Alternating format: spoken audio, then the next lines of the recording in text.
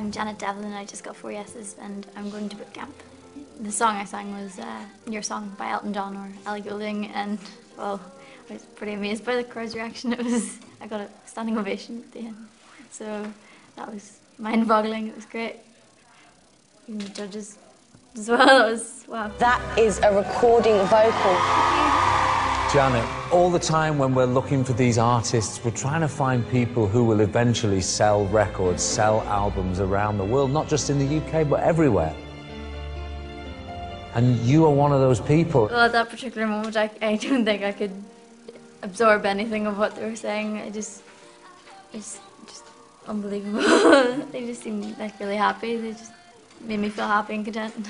I haven't had that much experience up until now. It's been really tiny crowds, really. It's I once played a gig to about like 12 people at max, and even their reaction made me happy. But small crowds kind of are more nerve-wracking to me than large crowds because if it's a small crowd, you can see everybody's reaction, and it's, it's scarier than like if, when I was out there, I couldn't see anybody. I wasn't focusing so on everybody's reaction, so it was a lot easier. But it's just, I haven't had that much experience at all.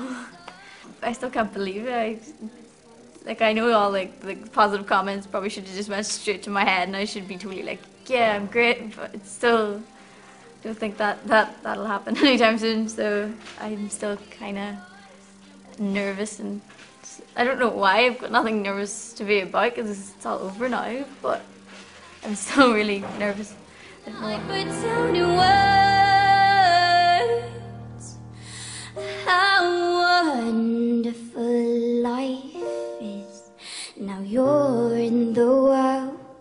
been Janet and you'll see me at boot camp.